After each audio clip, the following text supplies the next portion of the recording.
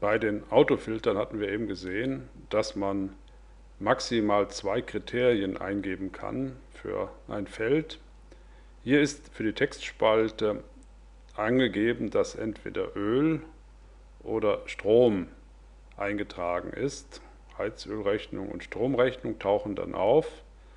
Aber wenn ich jetzt ein weiteres Kriterium dazu nehmen möchte, zum Beispiel super bleifrei oder super, um auch Energie für das Auto mit in der Liste anzuzeigen, dann geht das mit dem benutzerdefinierten Autofilter nicht.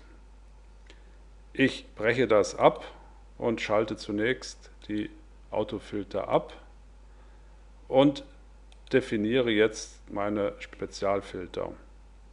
Wichtig ist dabei auch, dass man wieder innerhalb der Tabelle steht, wo, das ist also gleich.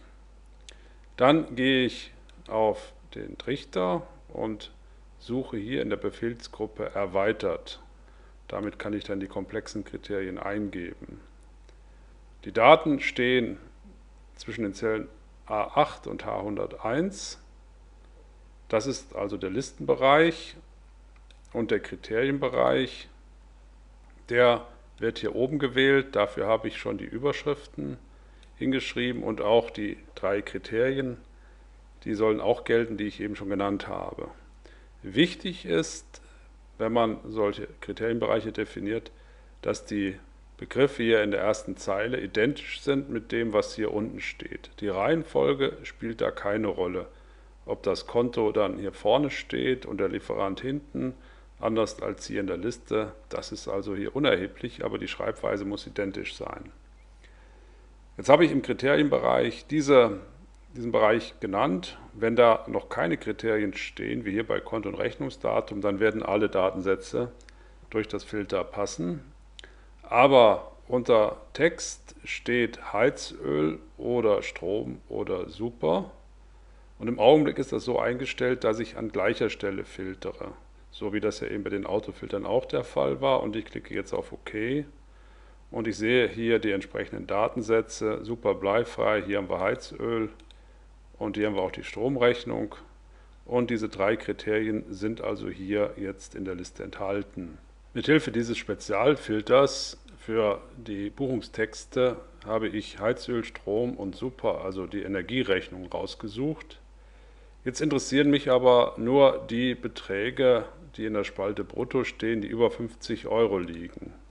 Also schreibe ich hier oben in den Kriterienbereich größer 50 und das muss ich auch für die beiden anderen Zeilen wiederholen oder kopieren, weil das, was in der gleichen Zeile steht, das ist unverknüpft. Wenn ich hier unten nichts hingeschrieben hätte, dann wäre der Betrag, der Bruttobetrag bei Strom- oder Superrechnung beliebig.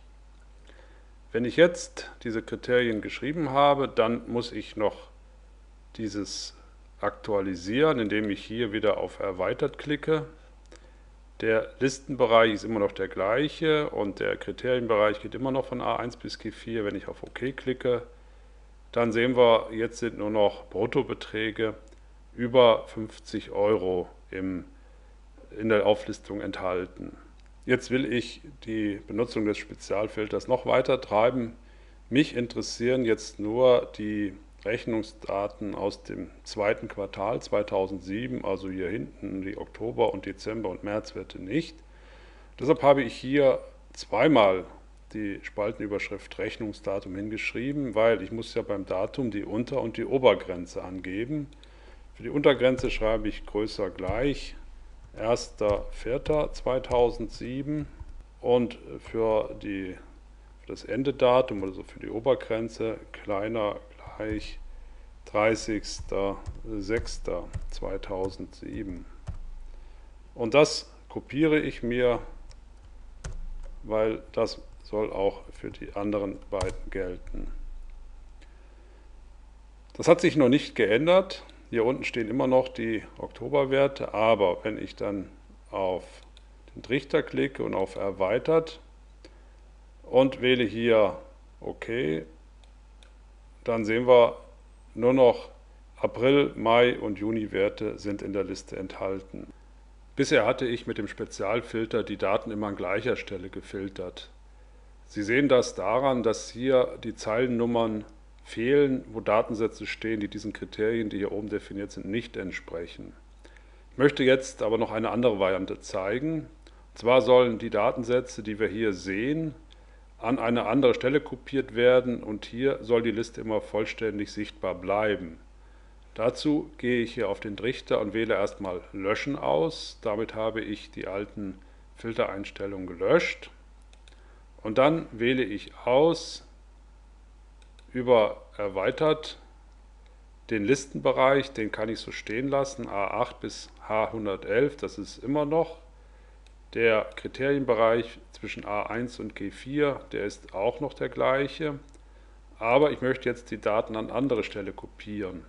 Und da reicht es, wenn ich auf die Zelle klicke, die links oben stehen soll in der Auflistung mit den Datensätzen, die an die andere Stelle kopiert werden sollen, nämlich die, die diesen Kriterien entsprechen. Ich habe die Stelle J3 markiert und klicke auf OK. Und wir sehen, dass die Daten, die wir eben noch hier gefiltert hatten, die stehen jetzt an anderer Stelle.